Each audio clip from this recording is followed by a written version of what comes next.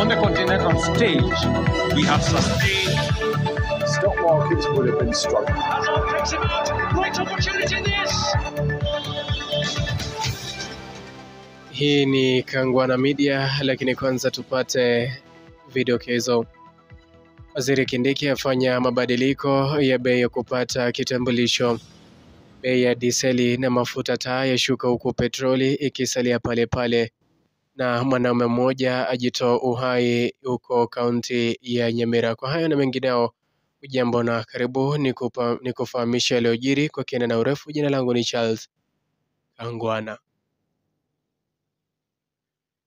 Waziri wa mambo ya ndani ya nchi Profesa Kithure Kindiki ametupilia mbali bei za awali zilizotangazwa kwa Wakenya wanaotafuta huduma mbalimbali kama kupata kitambulisho.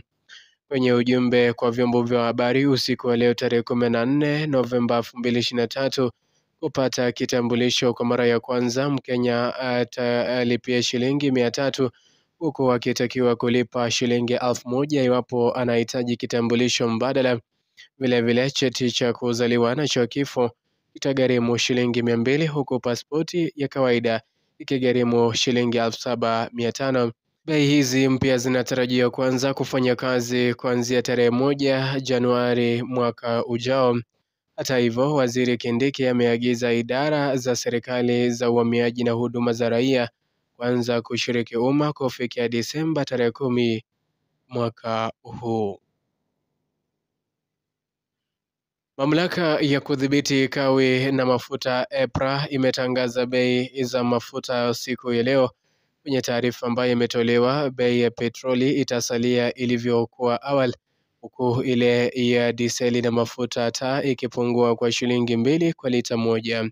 Kufuatia hayo sasa, mafuta ya petroli lita moja yatauzwa shilingi mia mbili na kumi na saba na senti thelathini na sita huku diseli ikiuzwa shilingi mia mbili na tatu na senti arobaini na saba na mafuta taa yatauzwa sasa shilingi mia mbili na tatu na senti sita.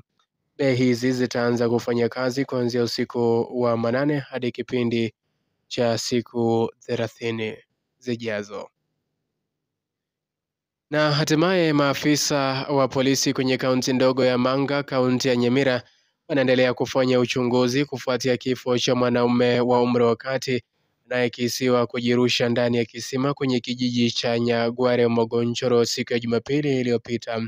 Linton Kabero anasemekana kuacha bodaboda yake kabla ya kujirusha ndani ya kisima kufuatia mzozo baina yake na mkeo. Kulingana na ripoti ya maafisa wa polisi, Kabero aliitisha kujitoa uhai, jambo lililopelekea mamake kujaribu kumtuliza ila akamalizia kujirusha ndani na kuaga dunia. Aidha ni kwamba maafisa wa polisi waliweza kusaidiana na wakazi wa eneo hilo ili kutoa mwili wake ndani ya kisima. Tarajia hapa mapo kesho ni kufahamisha mengi zaidi. Endelea kusikiliza na kutazama kituo nambari moja zaidi cha Kangwana Media. Kumbuka kutufuatilia kwenye mitandao yote ya kijamii. Jina langu ni Charles Kangwana.